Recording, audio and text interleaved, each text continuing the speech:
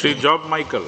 Sir പട്ടയ വിഷയത്തിൽ വളരെ എഫക്റ്റീവായിട്ടുള്ള കാര്യങ്ങൾ ചെയ്യുന്ന മന്ത്രിയെ ഞാൻ അഭിനന്ദിക്കുകയാണ് സാർ. ചങ്ങനാശ്ശേരി നിയോജകമണ്ഡലത്തിൽ ആലപ്പുഴ ചങ്ങനാശ്ശേരി റോഡിൽ അമ്പതിലേറെ വർഷമായി താമസിക്കുന്ന കുടുംബങ്ങൾക്ക് പട്ടയം ലഭിക്കാൻ വേണ്ടി പല പ്രാവശ്യം ആപ്ലിക്കേഷൻ നൽകിയിട്ടുള്ളതാണ്. അതോടൊപ്പം തന്നെ ആലപ്പുഴ ചങ്ങനാശ്ശേരി റോഡ് അല്ല അറുന്നൂറ്റി എഴുപത് കോടി രൂപ മുടക്കി തൊണ്ണൂറ് ശതമാനം പണി പൂർത്തീകരിച്ചു കഴിഞ്ഞു. അപ്പോൾ ആ റോഡ് സൈഡിൽ താമസിക്കുന്ന ആളുകൾക്ക് പട്ടയം നൽകാൻ വേണ്ടിയുള്ള അടിയന്തരമായിട്ടുള്ള നടപടി ഉണ്ടാകുമോ?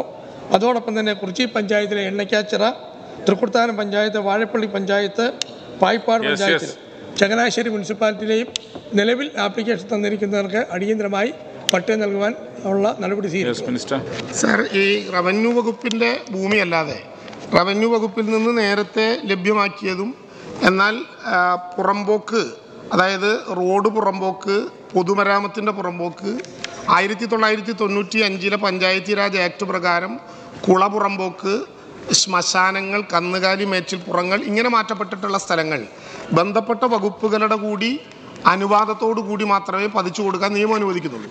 സാർ പട്ടയ ഡാഷ്ബോർഡിൽ അതിന്റെ ഏറ്റവും ഉപരി ഘടകമായി തീരുമാനിച്ചിട്ടുള്ളത് ചീഫ് സെക്രട്ടറി ചെയർമാനായി ഈ വരുന്ന എല്ലാ ഡിപ്പാർട്ട്മെന്റുകളുടെയും പ്രിൻസിപ്പൽ സെക്രട്ടറിമാർ അധ്യക്ഷ പിന്നെ കൺ പങ്കാളികളായിട്ടുള്ള ഒരു സംസ്ഥാനതല നിരീക്ഷണ സമിതിയാണ്.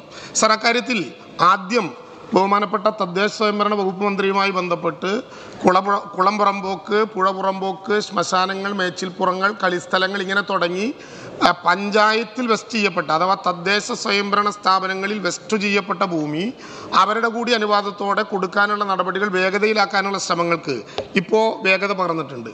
ബഹുമാനപ്പെട്ട മുഖ്യമന്ത്രി തന്നെ മുൻകൈ എടുത്തുകൊണ്ട് ഇതുമായി ബന്ധപ്പെട്ട എല്ലാ ഡിപ്പാർട്ട്മെന്റുകളുടെയും യോഗം വിളിക്കാം എന്നും ആലോചിച്ചിട്ടുണ്ട്. അങ്ങനെ വരുന്ന മുറയ്ക്ക് ബന്ധപ്പെട്ട വകുപ്പുകളുടെ കൂടി പിന്നെ N O C no objection certificate ലഭ്യമാക്കിയും revenue വകുപ്പിലേക്ക് ഡിവസ്റ്റ് ചെയ്യിച്ചും ആ പ്രവർത്തനങ്ങൾ വേഗതയിലാക്കാനുള്ള ശ്രമം നടത്തുന്നതാണ്.